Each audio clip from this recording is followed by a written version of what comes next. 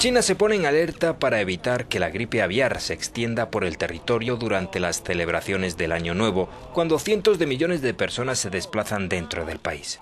Pekín ha prohibido la importación de pollos durante tres semanas tras detectarse varios casos de gripe aviar en un mercado de Hong Kong.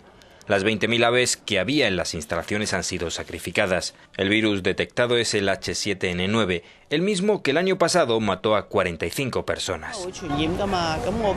Es contagioso, me da miedo, dice esta mujer. Sobre todo ahora que llega el año nuevo, es algo muy serio. El virus mata a la gente. En lo que va de año se han registrado 20 muertes por culpa de la gripe aviar, aunque por el momento no se cree que pueda contagiarse directamente entre humanos, sino por contacto directo o indirecto con animales portadores, una mutación del virus podría provocar una epidemia.